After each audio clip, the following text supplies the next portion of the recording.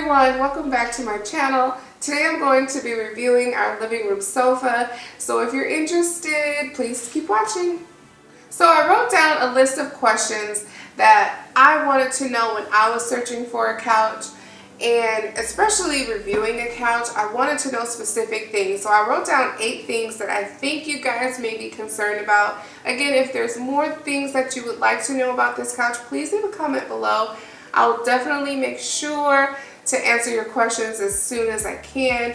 And I also will have the link to this couch in the description box if you want to check it out for yourself. So the first question, what did I buy? We got the four-piece Axis sectional sofa from Crate and Barrel. With this, we decided to get the chase on the right and it looks like it's on the left, but I think they go by how it is when you're facing the couch versus you sitting on it. And so yeah, it's super spacious. That was one of the reasons why we chose this couch because literally it just felt like we were so far away from each other. Everybody had all of the room we needed.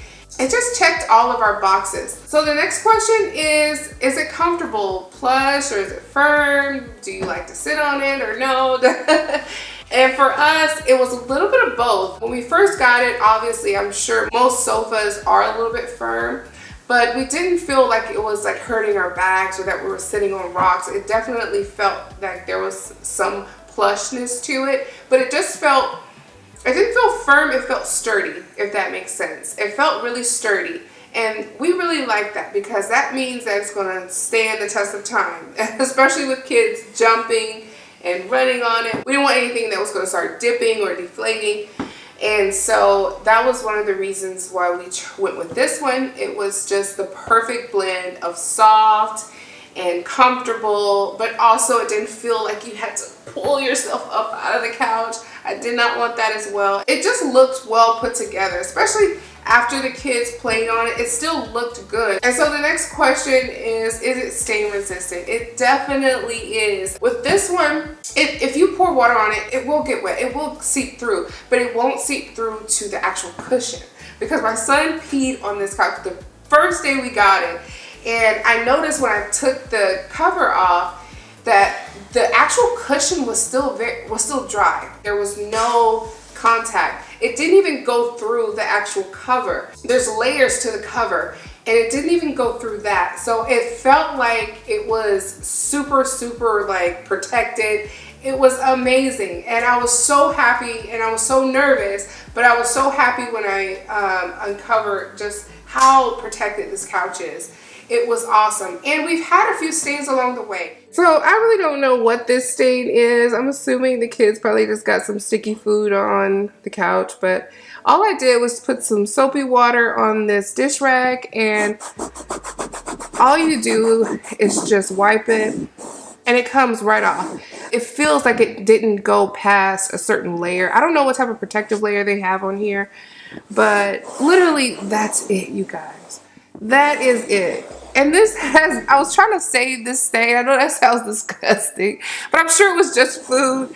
But I was trying to save this stain for the purpose of the video. So it was literally dried on here. And now it's just super soft. And it, guys, this fabric is amazing. So the next question is, can you wash the fabric? And I kind of touched on that um, in the last question, but yes, you can. You can definitely wash it.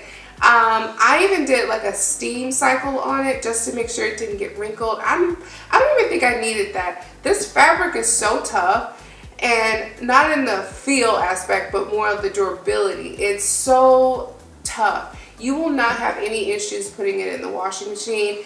It also comes out feeling very soft still, which I like because I really liked how soft this couch is. You will definitely love the feel of this couch. It doesn't feel hot. It, it gives you kind of like a cool feel when you sit on it. It doesn't like just soak in a bunch of heat, which is also really, really great because summer months you don't want to be sweating in a couch. It feels really, really good. And washing it doesn't mess it up at all. It's super easy to do. You just unzip the uh, cover, throw it in the wash, and you're you're good to go. The next question is, does the fabric fray or pile? I haven't had any issues with fraying. Definitely haven't had any issues with piling. I don't even think it can pile. The fabric is that tightly woven. You literally couldn't fray it or pile it if you tried. It is so, so soft still. My kids are are rough. They love to jump on it. They love to play on it. And sometimes fabrics, like people's clothing, can be rough on sofas, but we've had people over and haven't had any issues with that. This fabric is really, really tough, you guys. You're not going to have to worry about fraying or piling. The next question is, what do I like about it? What made me choose this sofa over the other ones that we were looking at? And I love the durability. I speak on this all the time when I'm talking to my friends or family about this couch, the durability is unmatched. And we know of what we speak in because we bought so many couches over the years. Oh, guys, it literally is the most durable couch that we've ever had. And with kids, you just want something that's gonna last. Unfortunately, you know, most couches just don't have the durability factor. They can look nice, feel nice, but are they going to withstand two-year-olds? and it does. It really, really does. My kids can jump on the couch. I wanted it to be something where I didn't have to tell my kids, okay, stay off the couch. Or like I wanted the couch to be inviting. I wanted the couch to change, not my kids. I will say that this couch has stood up to the test of time. It's only been two months, but we definitely made this couch a part of our family and so it's it's it's hanging in there and I just love that. The next question is what do I dislike about the couch? So I dislike the fact that when you sit on the back cushion quite frequently sometimes it can get a little bit bent out of shape so you just have to fluff it up and if that's the only negative, then I'm sure, I'm sure you have to fluff up other couch pillows as well. But this one, because the fabric is so tough, it can take a little bit of elbow grease. But for the most part, that's been my only gripe. But that again, that's not a big deal. Just fluff the pillows and you're fine. Last question, how much was it and explain why I paid so much. And yes, I wrote that question down because I know you guys, after I say the price, are gonna be like, girl, bye. So we spent, uh, oh, okay, I'll just say what it costs because taxes and fees, obviously, but the couch costs for this specific model and fabric $6,596. I know.